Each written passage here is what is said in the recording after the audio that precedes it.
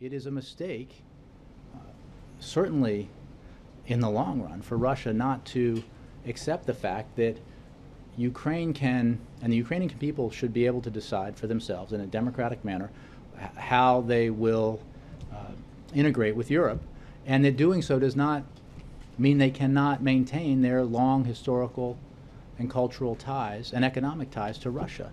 Uh, they can and should be able to do both, and it should not be a threat to Russia to do so. Uh, so, uh, you know, I think on this matter, I think it's very important to note that when it comes to these kinds of situations on the international scene, uh, you know, partisan politics are fine. We engage in them every day here. Here, I mean Washington.